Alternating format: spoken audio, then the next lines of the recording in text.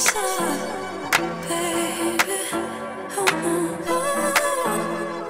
make the most of this before summer.